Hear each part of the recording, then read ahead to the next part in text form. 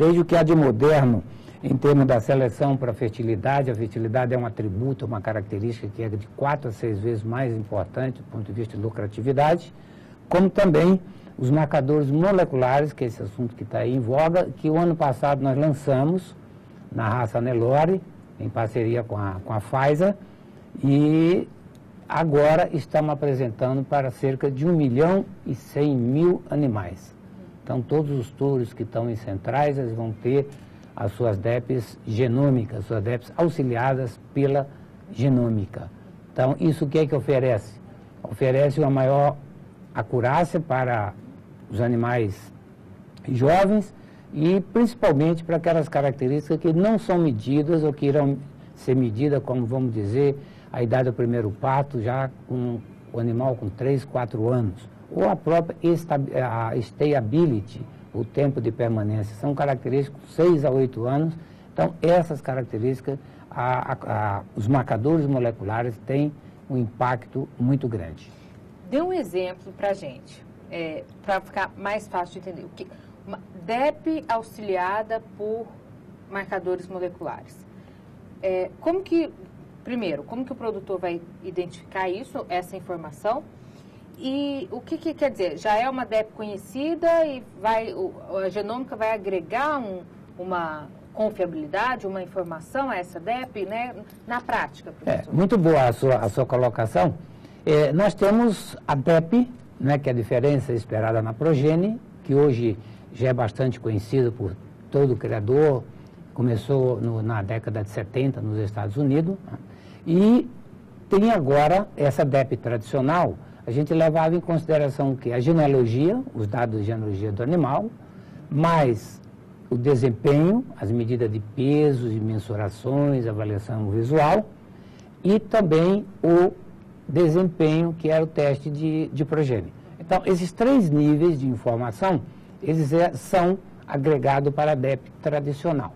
Agora nós, nós estamos na era é, pós-genômica, onde vários sequenciamentos já ocorreram, existem os marcadores moleculares, que são marcas que estão próximas a genes com características de interesse econômico, e essa, é, essa informação, que é medida diretamente no genoma, também o efeito médio dos, dos genes, quando é feito na tradicional, ela é adicionada. Então, a nossa, a nossa, a nossa base agora, ao invés de ter três pés, tem quatro pés. E qual é a vantagem? É que essa informação, ela agrega, por não, não, tem informa, não, não tem influência de efeito ambiental, é só genética, ela agrega muito na acurácia de animais jovens. Por exemplo, uma bezerra de três meses, você pode já ter uma acurácia que ela precisaria ter parido uma vez ou duas vezes. Ah. Então, ela acrescenta bastante. Nós vimos aqui como exemplo que na idade do primeiro parto, a, a DEP genômica era, aumentou, correspondeu a cerca de, da vaca ter parido sete produtos. Olha. Então, a acurácia queria atingir com sete, sete produtos, já conseguiu antes. ela já conseguiria com três meses ou seis meses você ter essa informação. Então, ela agrega, consequentemente, aumentando a acurácia, você seleciona com uma maneira, uma maneira de, de maior segurança. Então você antecipa é, a seleção. Aí você reduz o intervalo de geração que está no denominador da equação do ganho genético, da lucratividade. Então, consequentemente, também tem um efeito muito grande. É algo que começou a ser usado em 2009, 2010 no mundo e o Brasil já começou a usar desde o ano passado. Então, é algo que está começando, nós estamos ainda engatinhando, mas essa informação, quando agregada na, na DEP tradicional, ela gera uma, uma DEP, vamos dizer, mais reforçada, uma DEP mais confiável. Mais confiável.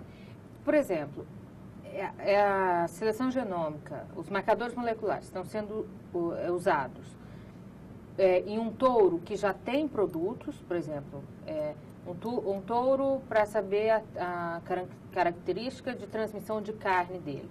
Isso vai ser avaliado nos seus filhos e vai ser feita a seleção, a, a, o marcador molecular para esse touro para ver isso, ou os marcadores moleculares estão sendo mais utilizados em animais jovens, para saber, por exemplo, Ou, ou é possível utilizar os dois, né? Por exemplo, vou utilizar no filho de um reprodutor, eu quero saber se ele vai ser bom para transmitir essas características como seu pai.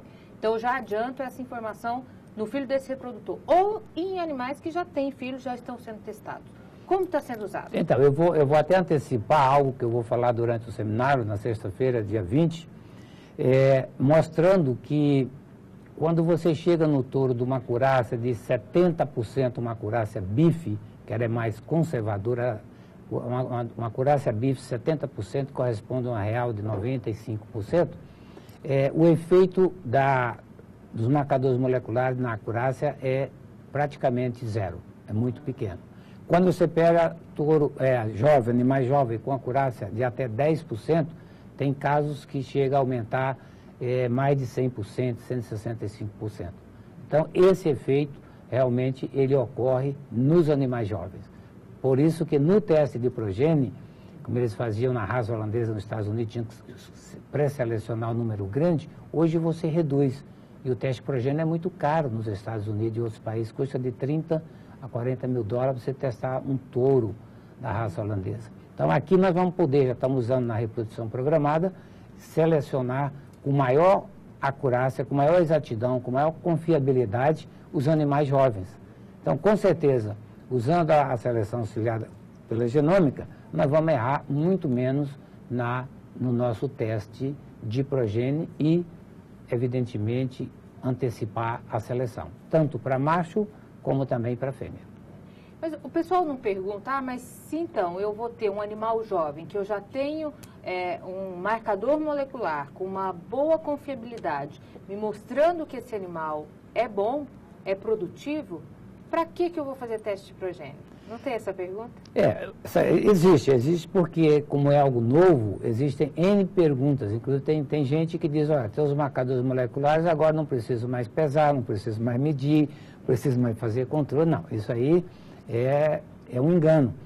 É, e, e, essa acurácia hoje no, no, nos marcadores, ela, por isso que é auxiliada, não é a DEP genômica como tem no, no, no gado europeu, que usa é, 777, é, é, aliás, 50 mil SNP, por, porque 50 mil SNP é, é, uma, é, um número que é, é razoável para você ter uma DEP genômica. No Zebu você precisa ter um pouco mais.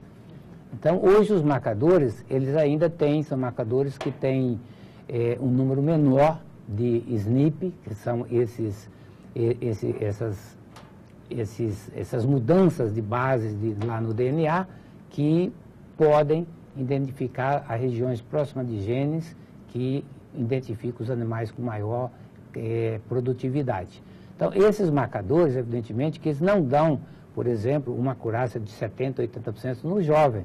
Ele vai aumentar uma acurácia de 10%, ele aumenta para 20%. Uma acurácia de 20%, ele pode levar para 30%.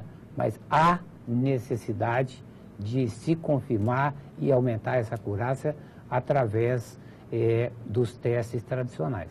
Talvez no futuro tenhamos todo o sequenciamento e uso do genoma, aí a história é diferente, mas aí só o tempo vai dizer. Hoje é importante ter essa associação dessa, dessa outra informação, outra tecnologia chamada genômica, auxiliando na seleção. Por enquanto é para auxiliar que os animais vão para testes, que animais jovens utilizar, que fêmeas manter na fazenda, né? dessa forma que está sendo utilizada a seleção genômica né, no momento. Eu acho que em quanto tempo assim a gente já vai ter um salto maior nessa, nessa seleção, né, nesse assunto de marcadores moleculares? É rápido, cerca de dois, três anos, a gente já vai ter hum, mais resultados, novidades sobre esse assunto, professor? Olha, a, a, a pesquisa ela caminha muito rápida. Em, há, há, dois anos, se falava em termos de chip, era chip ainda muito pequeno. Hoje, a, os painéis já, já são grandes, inclusive na, na espécie humana já chega a quatro, quase 4 milhões. No bovino maior é o de 777 mil. Então isso cresce muito, não dá para gente, e muita coisa está na pesquisa, você vê que os resultados, mesmo na raça holandesa, ainda também são resultados pequenos. Mas a, o crescimento nessa área, com toda a genética, na área de tecnologia, ele é muito rápido. O conhecimento hoje está se multiplicando rapidamente. Ok. E DEP auxiliada pela genômica, resultados e aplicações, é um dos temas que será colocados no 18º Seminário Nacional de Criadores e Pesquisadores, que acontece no dia 18, no, no dia 20 de abril, a partir das 8 horas da manhã, no Centro de Convenções de Ribeirão Preto, São Paulo. A gente vai falar, e durante esse evento vai acontecer também o lançamento do sumário das raças Nelore, Guzerá, Brahma e Tabapuã. A gente vai para um rápido intervalo comercial. Na sequência, a gente fala sobre o lançamento do sumário e outros assuntos que serão abordados durante o seminário da NCP. Até já. Você está